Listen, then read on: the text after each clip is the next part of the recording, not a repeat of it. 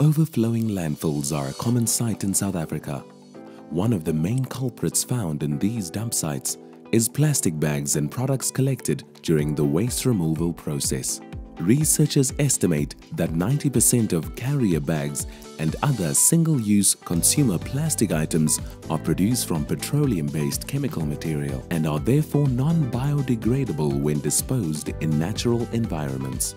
We want to find a way of resolving the need for bags, carrier bags, plastic bags, but then protect the environment at the same time.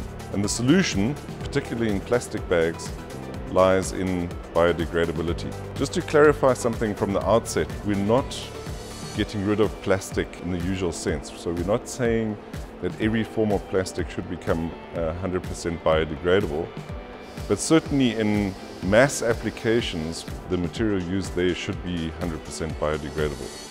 The CSIR has developed bioplastics that are biodegradable with mechanical properties that are similar to conventional plastics.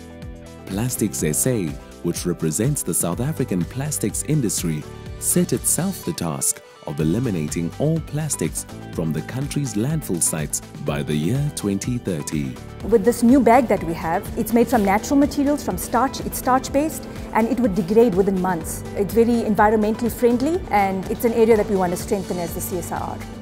The bags have been tested in different environments such as soil, compost, water and biodegraded in just three months. We all know that currently we're using non-renewable sources for our plastic bag. If we can get this one right, we'll have biodegradable bags. And needless to say, if we can have all the raw material sourced from the country, that is massive in terms of the rural development and the jobs that we can create. So it's not only an environmental impact, but it also has a social impact, and that's what's so exciting about this project.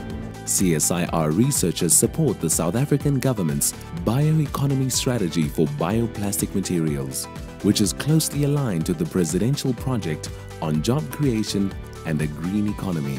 You have to look at mass rollout to get a mass impact. What we'd like to do is we'd like to see a concerted effort by government and industry to pick up on biodegradable bags, introduce them into the value chain in various places, and preempt this problem very, very early on.